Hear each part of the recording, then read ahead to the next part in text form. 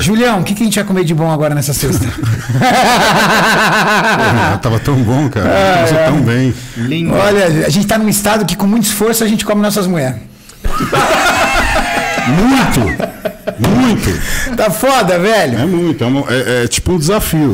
Nossa, a nossa sorte é que as mulheres é bonita, né, velho? Então Pô, ajuda. então- Porque se fosse feia, ó, sem comida. Beleza não se põe na mesa, mas se abre muito apetite. Hein? tá louco, não se põe na mesa, se põe na cama, É cara. lógico.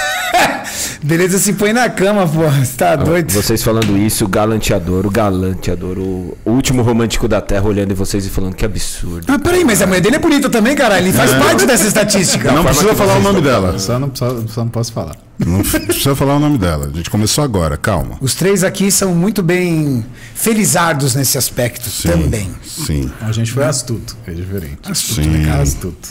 Astuto. A grande verdade é o seguinte: tô só o pó, Julião. o Julião, se alguém passar, joga uma moedinha no peito dele, achando que é um mendigo. Então acabado Jogando na tá. Cracolândia ali, tô junto, tio. Eu na Cracolândia ali, tô no padrão. Tá no padrão. Dá uma olhada aqui, ó. Esse cara Que Puta beleza. merda, velho. Tá foda, tio. Não, Julião. É capaz de jogar Tá na foda. Cracolândia. Tô pensando até. assim. tô até pensando em botar umas paradas no meu rosto, porque não tem mais rosto. Julião, se você fosse fazer o que aquelas meninas faz lá, qual o nome é? É. Sabe, ó, Harmonização. Harmonização. Os caras vão falar três dias pra entregar a obra. Não, Demonização. sem contar a Três quantidade, dias. o cara vai falar, ó, pra cada lado vai meio litro, pelo menos. É, pra encher tudo isso aí. Perdeu toda a Sabe gordura do corpo. almofadas murcha? Tá, tá assim meu rosto, velho. Perdeu toda a gordura do corpo, Foda, velho. velho. Sobrou mais nada. Tô tipo o esqueleto do He-Man, velho. Mas, Julião, tá foda, velho. Tá Opa. seco, mano. Estamos Tá secos. seco. Estamos, eu vi o seu, seu Tô, tô vídeo melhorando. também. Você tá bem pra caramba, cara. Tô melhorando, tô melhorando. E Me assim, né? impressionou. Você me falou que tava muito ruim sua perna. Eu vi ali, eu falei, caramba, já tá cortando, fibrando. É, a perna tá cortando bem. E, e assim, né? Sem treinar. É, hoje era treino de perna. Ah, o joelho não recuperou. Então não. Não, calma. Tudo tem É, seu tempo. É step by step. Deixa eu perguntar uma coisa pra by vocês. Vamos falar de efeitos da preparação. Coisas difíceis que vocês estão passando na preparação hoje. Em primeiro lugar, acho que é sono. Nossa, Eu acho que pro Julião é a fome. é a fome que não deixa dormir. Porque assim, é- é- é- cada um tem um, vamos dizer assim, entre aspas, um demônio. Por exemplo, eu, Mussi, eu lido muito bem com a fome. Eu sempre lidei. Por quê? Diferente do Júlio, que é atleta open, que a vida inteira comeu uma tonelada, eu, por, faz muito tempo que eu tô na Classic, então eu como muito menos. Então, é, é, sabe, é, é, eu, você pode explicar isso melhor para nós, mas é uma situação é, fisiológica, mas também emocional. O Júlio a vida inteira brigou para comer. Sim. E aí, de repente, ele se vê sem poder comer. É foda. O corpo deve falar pra ele: você tá ficando louco, cara? Mas o psicológico fala, cara, você tá no melhor físico da sua vida. É. Aí segura, né? Aí, velho. Aí você tá motivado. Ô, o Julião fez um po- depoimento aqui, velho, que viralizou. Tipo assim, porque ele foi de uma espontaneidade, ele falou assim: Renato, você não tá entendendo. Eu tô vendo comida no chão. Sabe assim, comida no chão me dá vontade. Comida no chão. Bicho. Isso, e assim, Aí você entende o que é fome de verdade, que é diferente de vontade. Buchada de bode, qualquer coisa, vatapá. você não comeria nunca. Nunca. Nunca. Comeria aqui você botar um quilo, velho. Mano do céu. Agradeceria demais. Demais. Aí você começa a entender que eu vi aqui no Nordeste, meu pai, na época dele, eles comiam calango, né? Porque não tinha comida, então caçava calango quando conseguia. Ou que plantava da terra. Então ele tinha mandioca para comer Carne calango. carne de calango. E às vezes, ele, ele, nunca tomou, mas ele falou que che- che- na cidade onde ele morava, chamava, chama-se Tabira, Pernambuco. Tinha gente que fazia sopa de pedra. É real esse bagulho? É real, caldo de pedra. Ô, louco, Julião. É, era uma outra época, né? Meu pai morreu com Sim. 70 anos. Então a gente já tá falando de 80 anos atrás.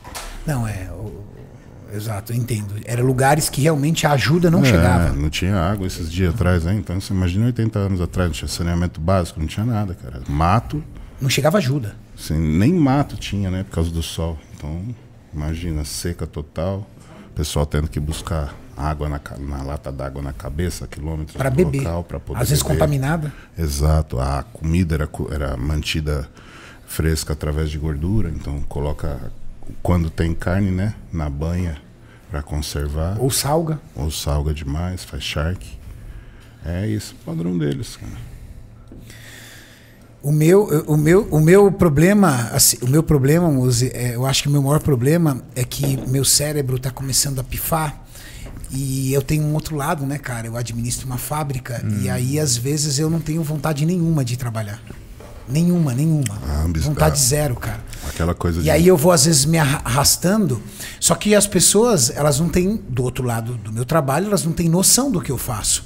Então, vem os problemas, vem as situações, vem contratos, vem coisas para você ler, eu não consigo. É, é- é- é assim, eu tento, não consigo me é, concentrar. difi- dificuldade de foco. Dificuldade de foco, é dificuldade de você é, é, conseguir ter paciência para ler, Sim. porque você está num nível de irritabilidade, de fraqueza. E assim, é- a primeira coisa que te consome antes do físico é a mente. É. E memória? Terrível.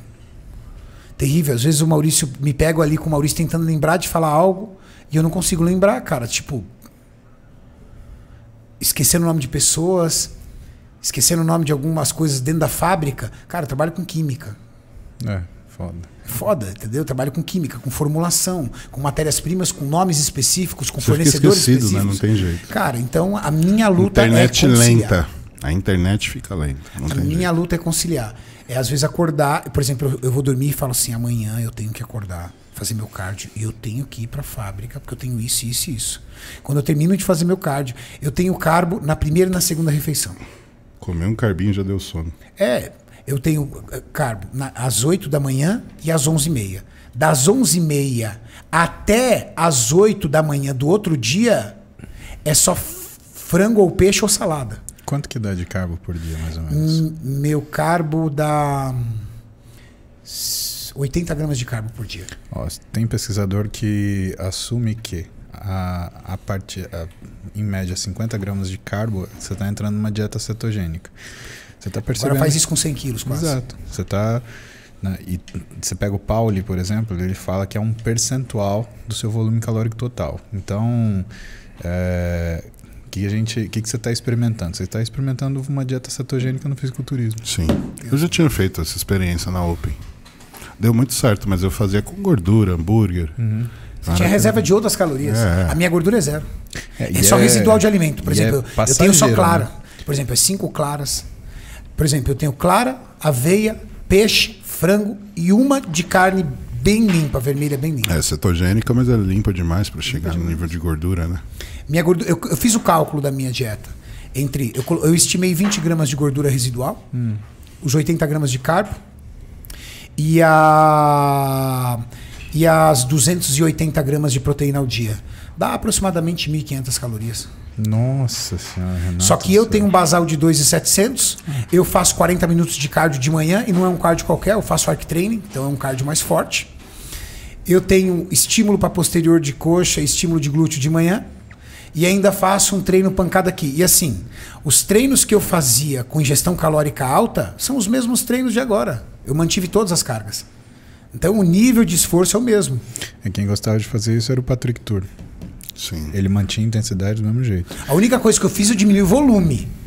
Entendeu? Então o volume é menor. Então é uma hora de treino.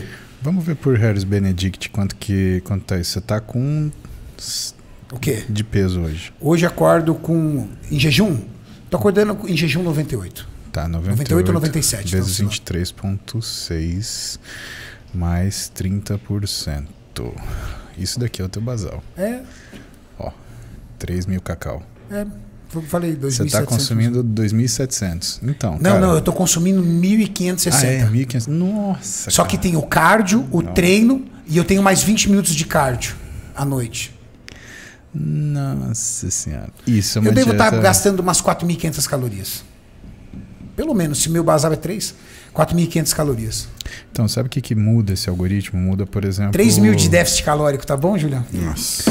Então, o que... Menos três na conta todo dia. Sem reserva de gordura pra É tirar. a única conta sua que tá pobre é essa.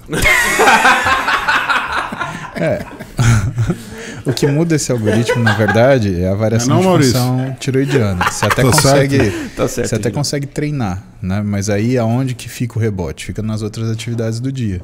Então, para você é como se você drenasse tudo aquilo que você está consumindo para poder treinar. E aí você sente a dificuldade para trabalhar, a dificuldade para para se concentrar, a dificuldade de memória, né? É o foco energético direcionado para o treino total. É, e que são coisas que a gente né, precisa explicar para a galera. São condições excepcionais. Né? A gente está falando de um preparo de um fisiculturista. Isso não é uma, uma, uma estratégia de emagrecimento. Não, tem data. né? E eu Exatamente. conto os, as horas, Julião. A gente conta os dias. Agora faltam 15 dias. Duas semaninhas. E é assim, isso não é saudável, isso não é sustentável, isso é alta performance.